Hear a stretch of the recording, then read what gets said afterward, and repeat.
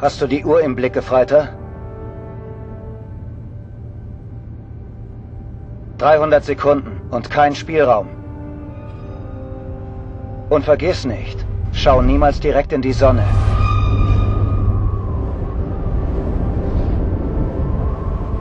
Bist du bereit? Was?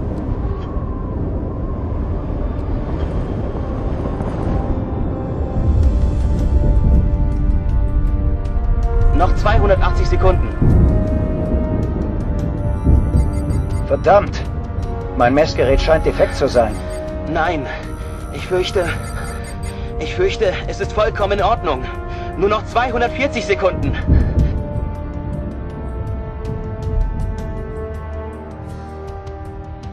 Wir haben gerade Nachricht von Antarktika, Machu Picchu und Ostozeanien erhalten. Die Messungen ihrer Windscouts stimmen mit den unseren überein. Wir rechnen mit einer Sonneneruption innerhalb der nächsten zwei Wochen, vergleichbar mit der Oswald-Eruption von 2113. Wir wissen alle, dass das Erdmagnetfeld nicht mehr in der Lage ist, uns vor einer Eruption diesen Ausmaßes zu schützen. Unsere Zeit ist abgelaufen. Es ist noch nicht zu spät, Quadi. Wir haben immer noch eine Chance. Was ist mit dem Phoenix-Plan? Wir könnten entkommen. Der Phoenix-Plan ist kein Evakuierungsplan, Hadi. Im Gegenteil. Doch Salvador hat recht. Eine Manipulation ist unsere letzte Chance. Wovon reden die? Ist die Sicherheit unserer Piloten inzwischen gewährleistet? Nigel, in zwei Wochen erwartet alles Leben auf der Erde der sichere Tod. Ich fürchte, wir haben keine andere Wahl. Es wird Zeit, dass wir endlich den letzten Schritt wagen.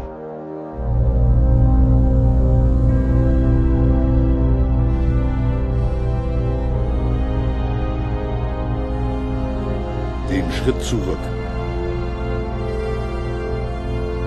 In die Vergangenheit.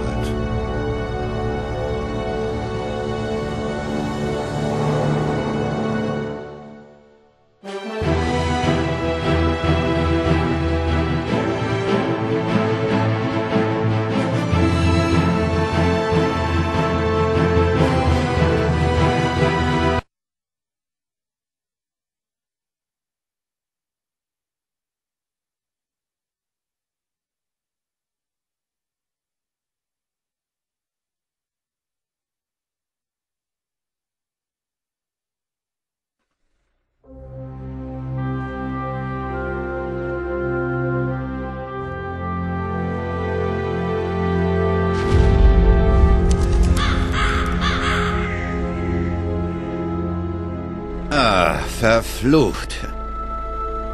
Nicht schon wieder. Ich hoffe, ich habe noch genügend Ersatzteile.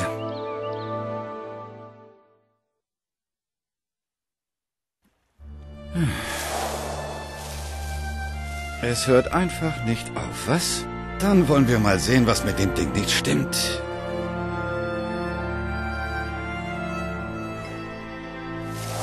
Die ist zu.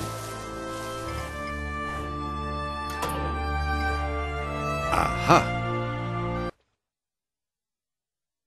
Da haben wir ja das Problem. Der Keilriemen ist gerissen. Wo finde ich denn jetzt einen Ersatz? Es scheint zu klemmen. Das erklärt auch den kaputten Riemen. Der ist hinüber. Vielleicht lässt er sich noch reparieren. Naja, ein Versuch ist es ja wert. Ob das hält? Die Schraube ist schon seit längerem locker. Die lässt sich auch nicht mehr richtig reindrehen. Die ist zu nichts mehr zu gebrauchen. Weg damit.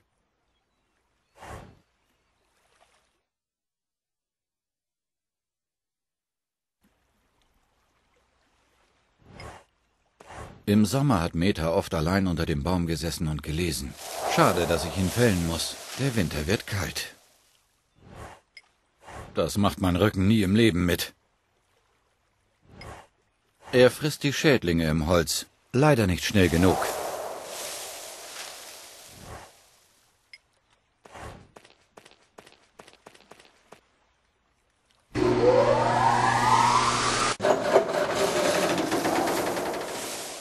Ah, das war's.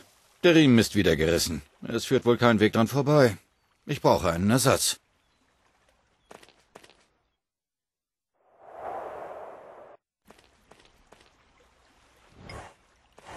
Die Angel war ein Vorschlag von Dr. Angust. Das ist sehr meditativ, Bent. Da kommst du mal zur Ruhe. Seitdem sitze ich jeden Morgen am Ufer und glotze apathisch ins Wasser. Nein, die Angel ist nicht die Lösung meiner Probleme. Auch wenn Dr. Angust etwas anderes behauptet. Früher sind wir jeden Sommer hergefahren. Meta hatte die Hoffnung, dass wir hier zusammen alt werden. Von diesem Traum ist nicht mehr viel übrig geblieben. Nur noch das Haus und ich.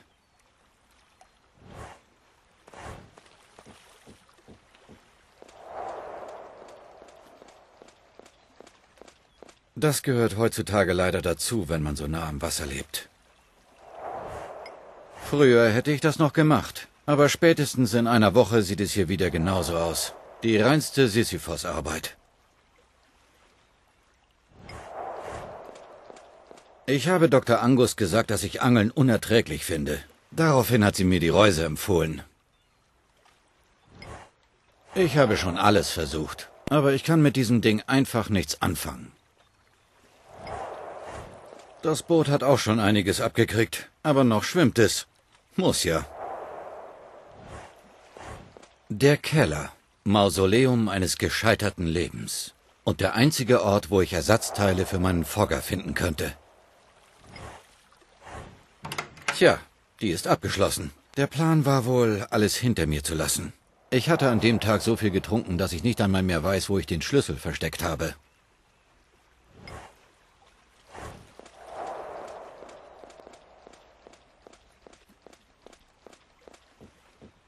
Nicht gerade die richtige Farbe für einen Sargdeckel.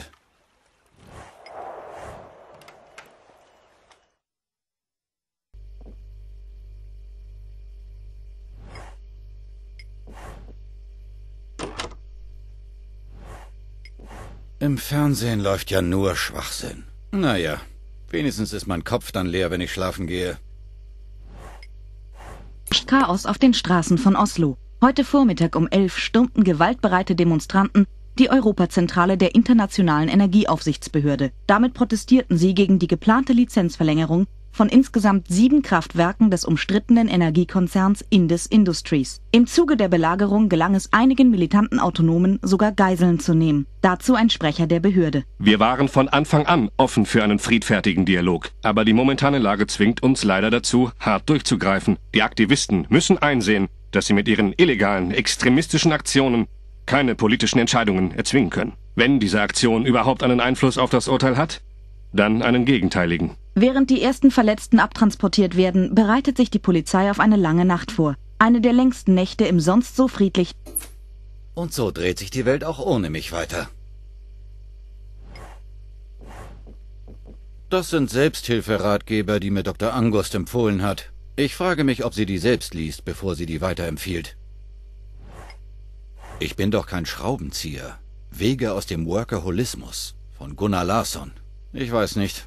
Ein Schraubenzieher hat wenigstens einen Nutzen. Manchmal bekomme ich Besuch von Dr. Angust. Deswegen der zweite Stuhl. Ich mache später Pause, wenn der Fogger repariert ist. Mein Team auf der Atlas 11. Wir dachten wirklich, die Zukunft der Welt ruhe auf unseren Schultern. Die stehen stellvertretend für das restliche Personal. Inzwischen ist das Team so groß geworden, dass weder ich noch Barney wissen, wer eigentlich alles für uns arbeitet. Ich meine, für ihn arbeitet. Die stehen stellvertretend inzwischen. Ich meine, Offensichtlich kein Presseshooting. Sonst würde Barney hier ganz anders aussehen. Mach dir keine Sorgen, Lissa. Ich komme schon irgendwie zurecht. Ich sehe müde aus, aber auch glücklich. Jetzt guck mal nicht so, Junge. Du darfst jetzt all die Sachen machen, die deinem Vater verboten wurden. Du bekommst das schon hin. Was ist das? Da steckt doch was hinter dem Bild. Das sieht mir doch verdächtig nach... Na, sieh mal einer an. Hier habe ich ihn also versteckt. Ich kann mich überhaupt nicht erinnern, ihn hier versteckt zu haben. War ich denn wirklich so betrunken?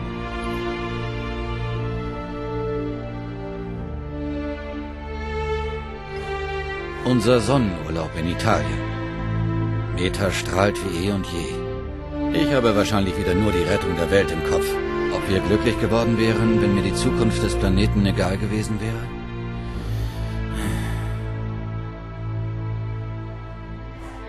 Selbst in Italien war ich in Gedanken bei der Algenforschung. Ich sehe es an meinen Augen.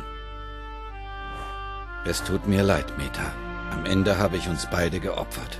Für eine Vision, die niemanden mehr interessiert.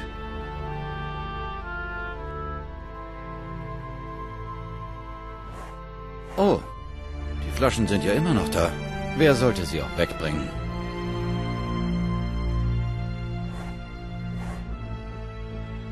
Rapsöl.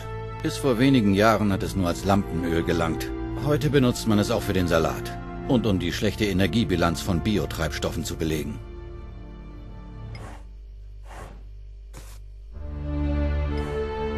Wenn ich nicht zum Essen in die Stadt fahren würde, käme ich nie unter Leute. Ein voller Kühlschrank wäre da sozialer Selbstmord. Ein trauriger Anblick.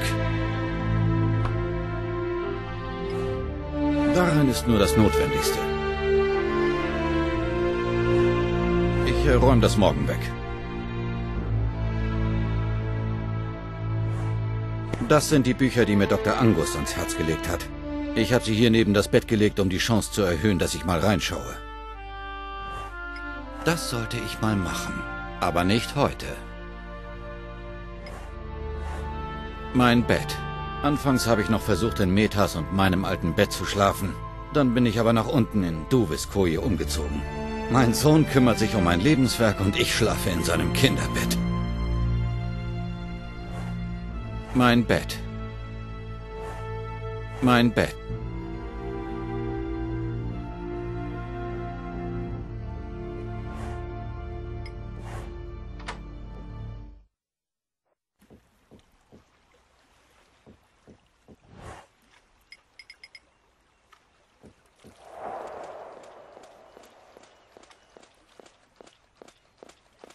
Mann, wie lange war ich hier unten nicht mehr drin?